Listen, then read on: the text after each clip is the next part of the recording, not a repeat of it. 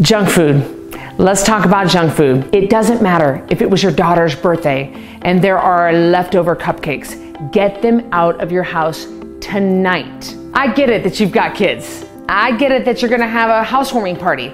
I get it that you're gonna have grandma and grandpa's retirement party. Not everyone in your life is code red, and not everyone follows the plan. Truly, I get that. But the junk must be gone out of your house that night when the party is over. Absolutely no exception. One of my big hard and fast rules is no junk food is allowed to stay in your house. And I'm not saying no junk food is allowed in your house. I would love if that were the case, but real life here we're talking about. And I understand you're gonna have parties, you're gonna have things that are going on, and you're gonna need to make cookies and brownies and cupcakes. I get that. But when the party is over, that leaves with that last kid. All right? You send it over, like my neighbor John, doesn't mind if I send him over any kind of junk food that was at the party that we just had. Send it home, give it to a homeless guy, whatever you want to do. Get it out of your house and it leaves tonight. Because the stress that you might have just dealt with having that party, it might hit you later on at night. It might hit you while you're cleaning up.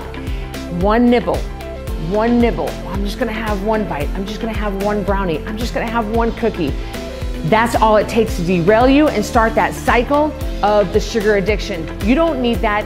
You've got to get it out of your house. Don't act like you've got this because you don't got this. Even I can't keep junk food in my house. And if your fearless leader can't keep junk food in her house, you can't either. Don't set yourself up for failure. Don't set yourself up for that temptation to have to deal with that because they just calls your name over and over. Oh, Cristy, come eat me. You don't need that. You got enough in your life to worry about. Get it out of your house. Look, at uh, holidays, parties, anything that's going on that you might have junk food in your house, you've got to get it out that night. Look, heroin addicts don't keep heroin in their cupboards. And you might say, well, that's awfully dramatic of you to say. Well, guess what? Sugar is eight times more addictive than heroin. So yeah, I can I pretty much say we got a pretty serious problem on our hands here. And you got to treat it like that. So you don't keep junk food in your house. Cookies, crackers, cakes, brownies, whatever your definition of junk food is, whatever that is, not code red, it needs to leave when the party is over. If you think you can get away with something no one all through time has ever gotten away with, I can't help you.